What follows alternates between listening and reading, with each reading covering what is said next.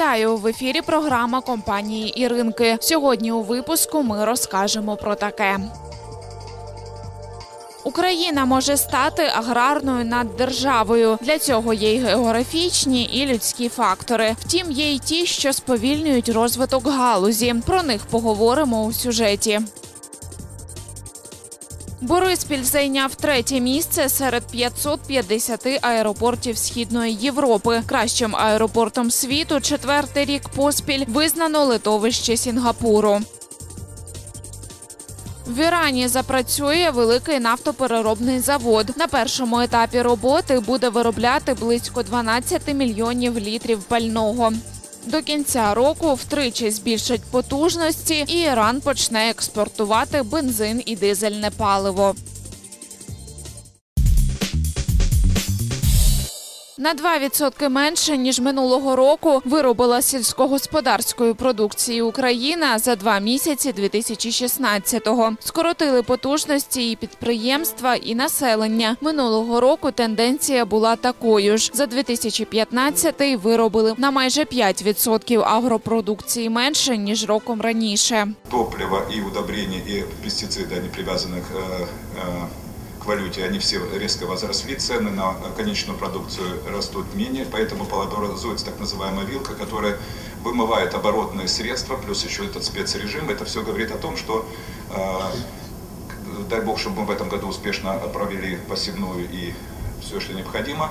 Девальвація гривні та законодавчі зміни. Ці фактори найбільше впливають на галузь. Та, попри це, минулого року країна показала себе із кращого боку на міжнародній арені. Держава займає перше місце із виробництва та експорту соняшникової олії, по зерновим кукурудзі, яйцям та продуктам бджільництва посідаємо передові позиції.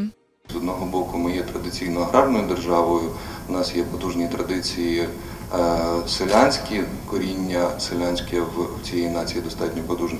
Унікальне географічне розміщення, родючі ґрунти і непогана інфраструктура дозволяють країні стати аграрною наддержавою. За оцінками експертів, за найліпших умов Україна могла б нагодувати 400 мільйонів осіб своєю сільськогосподарською продукцією. Лише треба володіти сучасним агропромисловим комплексом, розробляти новітні технології. Коли б це було, сільське господарство би рухало економіку і створювало сотні тисяч робочих місць у суміжних галузях. У Украины есть потенциал, но с другой стороны мы прекрасно понимаем, что мы живем в реальных экономических условиях. И любое принятие решения э, э, с точки зрения правительства, с точки зрения налоговой, с точки зрения Национального банка и так далее, прямо или косвенно ударяет по процессам, которые... э, и вот эти планы роста сельскохозяйственной продукции, они будут осуществляться или они будут тормозиться. Несмотря на то, что мы будем покупать самые лучшие удобрения, пестициды и так далее, а вопрос экономический может оказаться э, реальным барьером.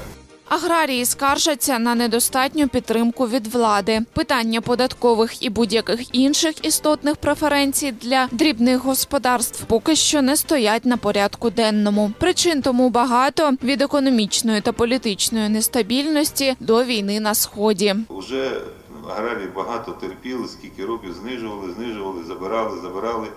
В минулому році 20 мільярдів через підвищення значить, е, єдиного податку. Тепер знову 20 мільярдів. Серед найгостріших питань для сільськогосподарників спецрежим ПДВ. До кінця 2015 року 100% сум ПДВ акумулювалися на спецрахунках бізнесу, які вони мали використовувати для власних виробничих потреб. В середньому за останні кілька років це близько 20 мільярдів гривень. Щойно звикли працювати із встановленими податковими пільгами. Їх змінили і з 1 січня запровадили іншу систему. По операціях із зерновими та технічними культурами 85% мають сплачувати до бюджету, 15% лишати у власному розпорядженні, продукцією тваринництва 20 на 80%, з іншими сільгосптоварами і послугами 50 на 50%. Якщо говорити про податкове, у нас є теж є така традиція напередодні нового року в ніч отримувати нові умови, з якими потім всі ви, як фахівці, стикаєтеся перші декілька місяців, в той час, як вся Україна е, святкує до водохреща, ви пробуєте розібратися з тим, яким чином потім з цими умовами працювати далі. Країною уже пронеслась хвиля протестів. Аграрії просять повернути минулу систему оподаткування, бо ж з цією надто складно працювати. Зло, как, в общем-то, ну, по нашему мнению, как консультантов, на самом деле не в налогах, а в том, как они устанавливаются, и очень часто в, во времени применения этих изменений. Потому как понятно, что а, изменения, которые касаются на- налога на добавленную стоимость, они в первую очередь приводят к тому, что компании просто банально нужно больше оборотного капитала. А, а в той ситуации, когда в банках денег нет, и все вы общаетесь с вашими обслуживающими банками, наверное, все они вам говорят, что они бы с удовольствием увидели бы возврат выданных кредитов, но никак не а, рассматривали бы выдачу новых. Поэтому как бы, вот время введения таких изменений, на мой взгляд, оно самое худшее. Представники бізнесу і влади шукають компроміси. На черзі у Верховній Раді кілька законопроєктів щодо оподаткування в аграрній галузі. Про необхідність пошуку балансу між потребами аграріїв та бюджету говорять усі, бо ж сільськогосподарська галузь має високий потенціал.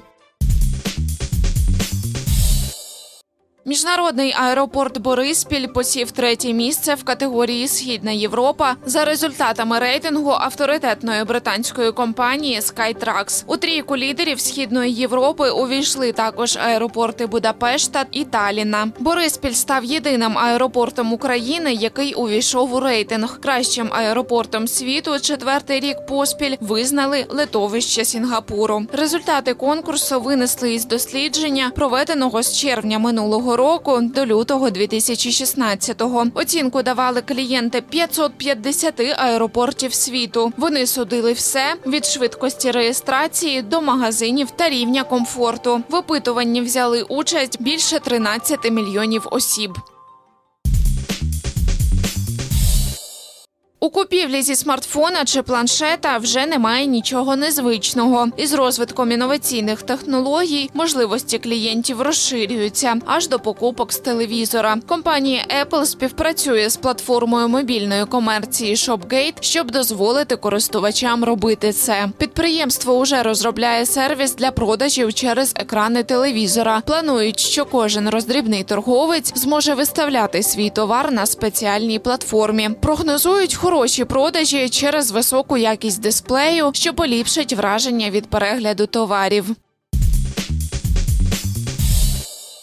Корпорація Тошиба вкладе 3 мільярди 200 мільйонів доларів на будівництво заводу в Японії. Підприємство вироблятиме картки флеш-пам'яті. Капіталовкладення здійснюватимуться протягом трьох років до кінця березня 2019-го. Щороку корпорація інвестуватиме близько мільярда доларів. Завод запустять в експлуатацію не раніше 2018-го. Зазначу, останні три роки Тошиба витрачала в середньому мільярд доларів у рік на розвиток напівпровідникового бізнесу.